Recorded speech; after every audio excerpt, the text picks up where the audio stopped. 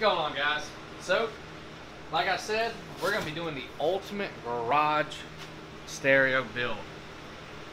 But we're going to be using car audio components in this instead of just house audio. We're going to do it on a budget. So this is the ultimate car audio home garage budget build. Let me turn this fan off. Turn it down at least. So we went ahead and we got a budget uh, receiver and amplifier. This one is the Pyle P3001 BT.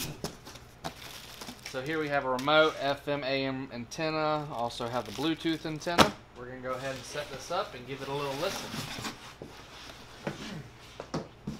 So there's going to be a complete build video on all this. So y'all stay tuned for that.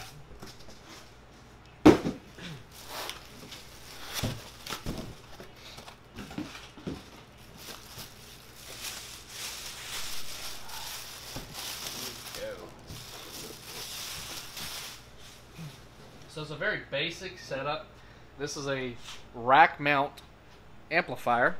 Let me go ahead and move the camera for y'all so y'all can see a little bit better. So what we're going to be using in this system is going to be some tens, some six and a halfs, and some super tweeters. But for right now, the purpose of this video, we're just going to be testing this out. That's why this video is labeled the Pyle P301 BT test and review because we want to see what this can do. so this model is 4 ohm and 8 ohm compatible and I have read where you can put it in 2 ohm and they don't recommend 1 ohm. So we're going to keep it around the 4 and 8 ohm range anyway so it doesn't really matter. We're going to be using some sky high audio wire. Crack this open. It's got some red and black. 16 gauge or did I get 18? 16. We got the Audio Legion 10s. I'm going to get some more of these, but these are the Audio Legion uh, compression drivers. And they're horns. right there. And I gotta go grab it.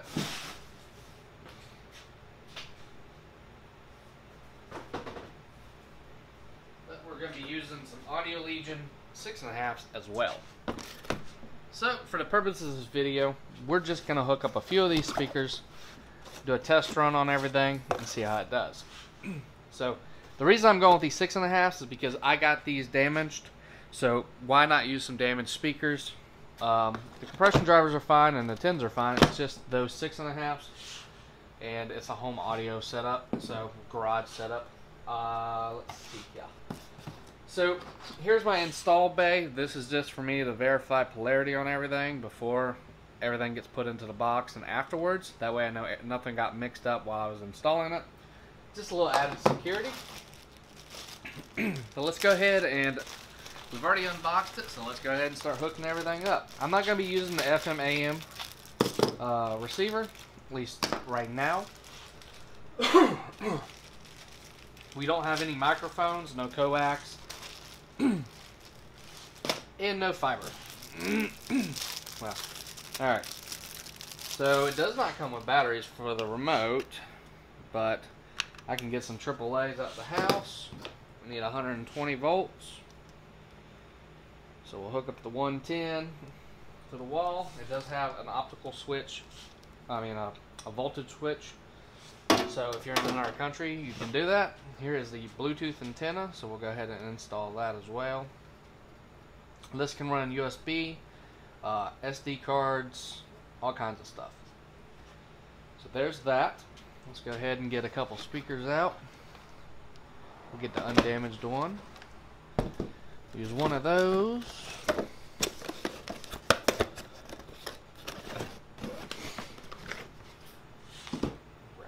Compression driver one of these earlier. And all of these speakers are 8 ohm. So I'm only going to use two on each channel. So there'd be two eights, I mean, yeah, no, two six and a halves, two tens, and two tweeters per channel. There's the four channel amp. We're not going for overkill here. You know what? I've got one of these tins already opened as well. So instead of opening a whole bunch of stuff, let's just use the already open ones.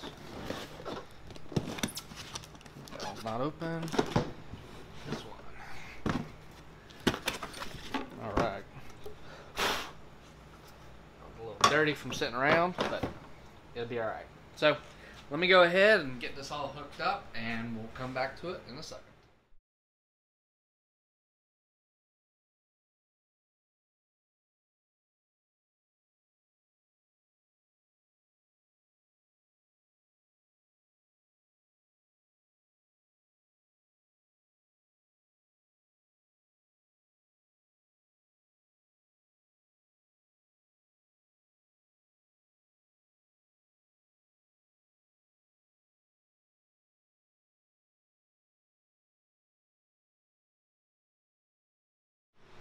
So now we have it hooked up. Obviously it's not going to look like this and these speakers will be in a box. But let's go ahead and lower y'all down a little bit.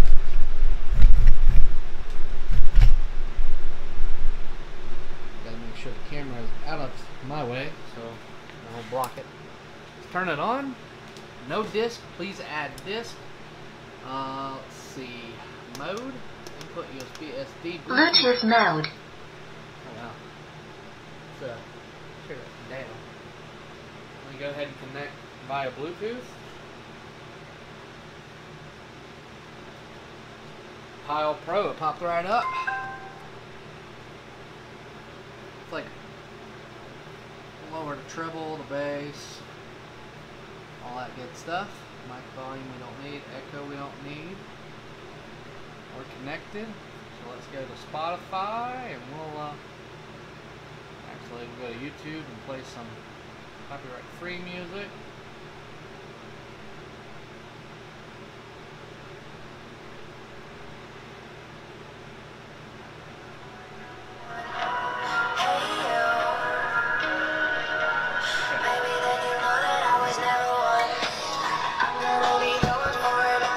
Working.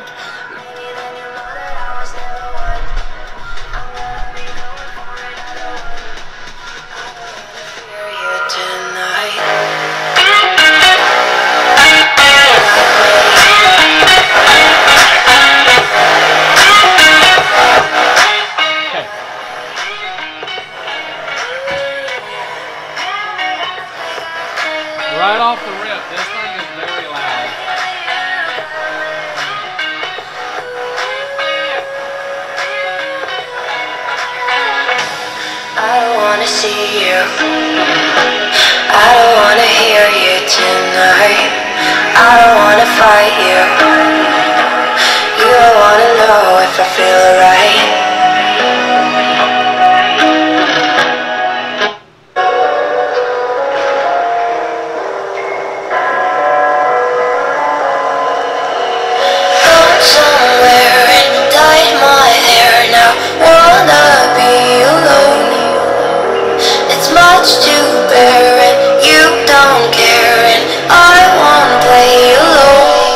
Got you in my sight. I keep the what you said to me. I get you, get you, get you, get you on your knees. The things you said. Wow, I am extremely impressed with this test. These three speakers, well, a super horn, a 10, and a 6.5, are screaming, and we're not, nowhere near full volume either. Um, we are approximately, let me see, we're approximately about 60% maybe. Wow, and I don't have anything really set. I haven't gone through EQ, nothing like that. So let me hit the EQ. Uh, learn how to do this, but um, just based on the treble and the bass right here, this thing is nice for the price. It's $150. I'll leave a link in uh, the description to where I got it on Amazon.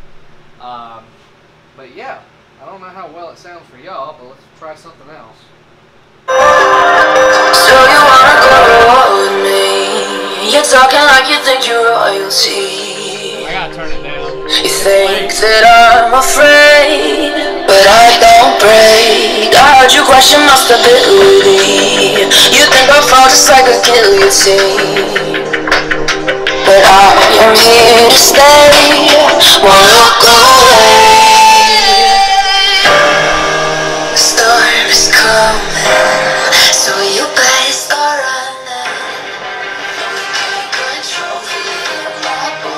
Alright, with that being said, we're going to complete this test. I have to say, for the price of this thing, I'm very impressed. It goes 4, 4 to 16 ohms, it says.